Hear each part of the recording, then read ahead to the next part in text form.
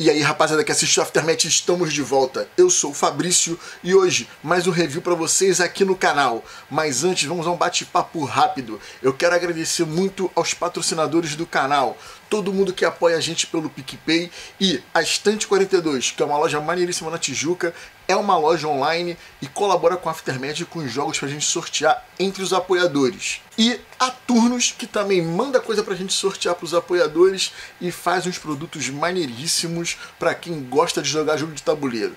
Tem caneca temática, tem umas camisas maneiríssimas, porta-dado de couro que não arrebenta e uma bolsa maneiríssima para você poder levar jogos para os lugares de maneira segura. Na descrição do vídeo tem o um link para os nossos patrocinadores. Vai lá, uma moral, clica lá e ajuda quem ajuda o Aftermath. Lançado no Brasil pela Galápagos Jogos, dos designers Rajamal Heck e Lorenzo Silva, é um jogo de 1 a 6 jogadores e cada partida vai levar ali uns 30 minutos. E as mecânicas são construção de rota e papel e caneta. Essa mecânica que está explodindo no Brasil, tem um monte de jogo sendo lançado. Nas próximas semanas nós vamos ter review de outros jogos baseados nisso e em breve um top 10 com os meus favoritos. E qual é a pegada do jogo? Cada jogador vai ter que construir uma rota entre as setas que tem no seu tabu, que é esse aqui, ó vai ter umas setinhas aqui. Você precisa ligar as rotas entre elas usando ou rodovia ou estrada de ferro. E vai vencer quem conseguir fazer mais rotas, rotas longas, fazer uma pontuação maior. Não tem muito que fugir disso. Vamos para o bloco 2, onde eu mostro os componentes e explico as regras, depois eu volto com as considerações finais. Cada jogador vai receber um tabulozinho desse, uma caneta e os quatro dados que vão ser rolados uma vez por rodada entre os jogadores participantes. E o bacana desse tablô, ó, que você usa a caneta, pá, desenhou, usa agora aqui a borrachinha atrás, ó. Acabou. É apagável, você vai jogar aí quantas vezes você quiser sem se preocupar em acabar as folhinhas.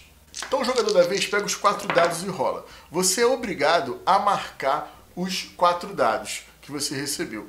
E como é que funciona a regra? Você tem que marcar os dados começando das setas iniciais aqui, que vem em volta do tabuleiro, então tem sempre que marcar uma dali, beleza? Ou adjacente a algo que você já tenha marcado. Então, por exemplo, ó, aqui tem essa seta que começa, eu vou pegar essa marcação aqui de trilho e vou desenhar aqui. Eu boto nesse quadradinho aqui em cima tá? Aqui em cima desse quadradinho, um número para dizer qual foi a rodada que eu desenhei isso aqui. Depois eu chego, deixa eu apagar aqui também para não ficar muito feio. Né? Então esse aqui eu já desenhei. Posso pegar um outro aqui. Eu vou pegar esse aqui e vou desenhar ele vindo para cá, ó. Pá, e aqui para baixo. E boto um aqui. Beleza? Aí eu tenho esse, mais esses dois aqui para montar. Eu posso chegar aqui e desenhar ele vindo para cá e o trilho passando por baixo. Beleza? E esse outro aqui, eu não tenho como encaixar em lugar nenhum. Então eu vou pegar uma saída que eu tenho aqui, por exemplo, sei lá, aqui de repente. Aqui? Pode ser aqui. Ou aqui. Melhor, eu vou botar aqui, ó, esse Lzinho para cima. Pá. E no 1, porque eu posso fazer uma conexão aqui, porque existem resultados nos dados que eu posso juntar trilho com rodovia. Uma coisa importante que você tem que ficar ligado é que aqui em cima ele te mostra todos os resultados possíveis nos dados que você vai rolar. E aqui em cima tem umas rotas especiais que você pode usar três delas durante toda a partida, sendo que uma delas por turno. Você não pode usar duas no mesmo turno. Outros exemplos de conexão, por exemplo, essa conexão aqui, ela junta uma termina, ela termina com uma conexão de estrada e vai para uma de trilho. Então eu poderia colocar aqui, ó, poderia colocar aqui estrada aqui, beleza?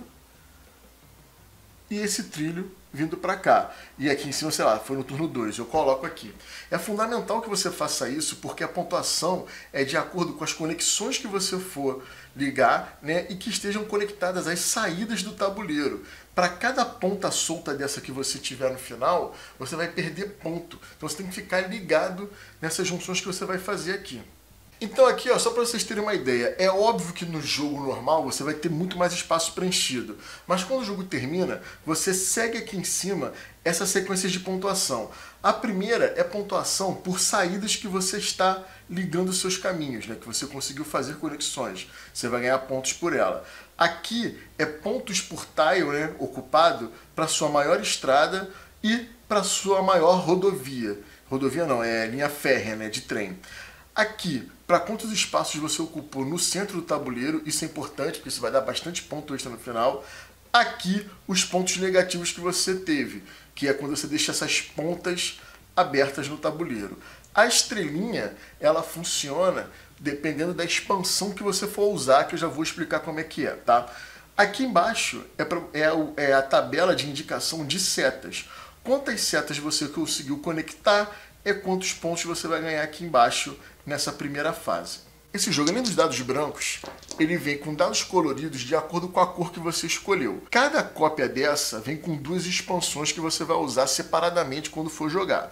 Na azul, você tem a expansão do rio. Como é que funciona? Você vai usar aqui o dado do rio para construir um rio no seu tabuleiro. Obviamente, você tem que usar o rio respeitando os tiles já ocupados pelos dados brancos, que você é obrigado a marcar. No caso da expansão do rio, você não é obrigado a marcar o resultado daqui na sua vez. Porém, você vai ganhar uma pontuação extra se você fizer um rio gigante. O que, que significa isso? Se você fizer um rio começando numa borda e esse rio terminar em uma outra borda do seu tabuleirozinho, você vai pontuar, vai fazer um ponto para cada tile que esse rio passou. Então isso é interessante porque dá ponto extra. No dado azul mais clarinho é um lago e você vai ganhar ponto extra no final para cada tile ocupado pelo seu menor lago no tabuleiro. Já o vermelho, as expansões são um pouco mais punitivas. Essa aqui do dado laranja é do vulcão. Você vai desenhar um vulcão no meio do seu tabuleiro no início do jogo e a lava vai expandindo a partir dele. Então você tem dados daqui nos dados, a forma de você desenhar lava e ir expandindo pelo tabuleiro. A qualquer momento você pode desenhar um outro vulcão no tabuleiro para expandir lava dele também. A questão é, você não pode desenhar lava aonde já tenha sido desenhado um dado branco e você é obrigado a desenhar pelo menos um dado desse na sua vez. No final da partida você vai ganhar 5 pontos para cada lago de lava fechado que você conseguiu fazer no seu tabuleiro, o que é bem difícil. E um ponto para cada espaço ocupado no seu tabuleiro pelo seu maior lago. A outra expansão do vermelho é essa aqui do meteoro, que é a mais caótica e punitiva de todas. Por quê? Quando você rola esses dados, ele vai dizer o quanto o meteoro andou e em qual direção o meteoro andou. O meteoro ele sempre começa no meio do tabuleiro, então ele vai andando e vai cair em algum lugar. Se você desenhou um dado branco ali, você perde o que você desenhou e desenha uma cratera. Qual é a vantagem dessa expansão? Se o meteoro cair em algum lugar do seu tabuleiro aonde você não tem um dado branco, você não sofre penalidade nenhuma. Vai ficar uma cratera ali. E depois você pode desenhar um dado branco passando por cima para ganhar pontuação extra. Mas é aquilo, o meteoro ele vai ficar andando pelo tabuleiro e pode destruir as coisas que você desenhou. Qual é a minha dica para quem vai jogar Railroad Inc. pela primeira vez? Primeiro com relação a como você vai jogar da primeira vez. Joga sem as expansões, joga do modo normal, com os dadinhos brancos, para você se acostumar ainda como o jogo funciona. Por quê? Ele é um pouco diferente dos outros jogos que tem esse tipo de mecânica no mercado.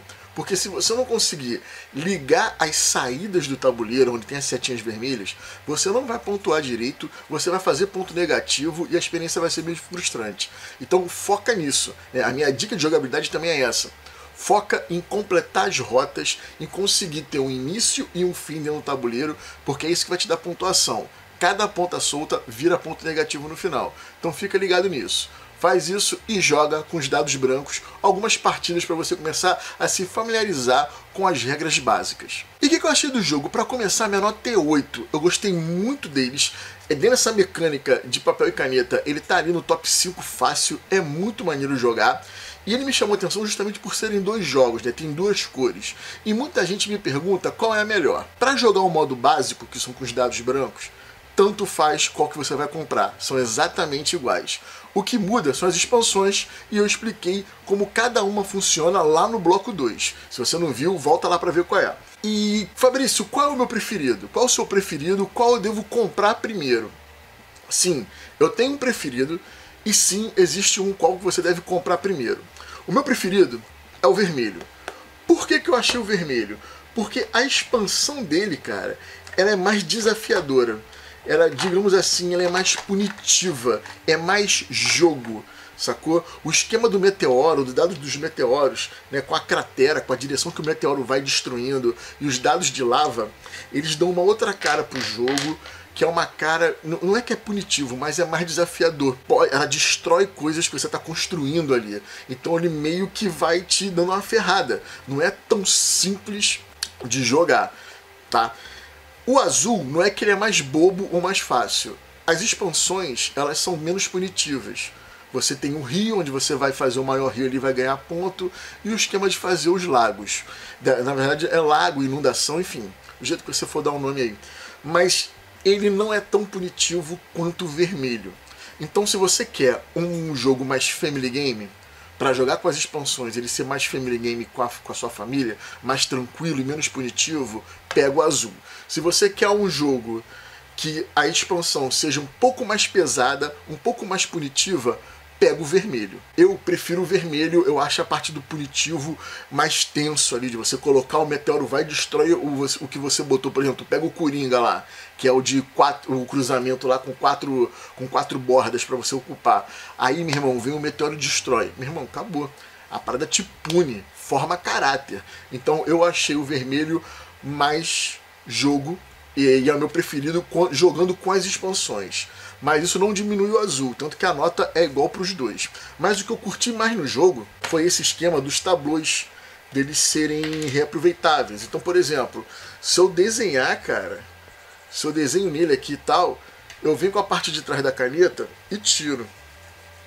Isso é bem bacana para você reaproveitar o jogo.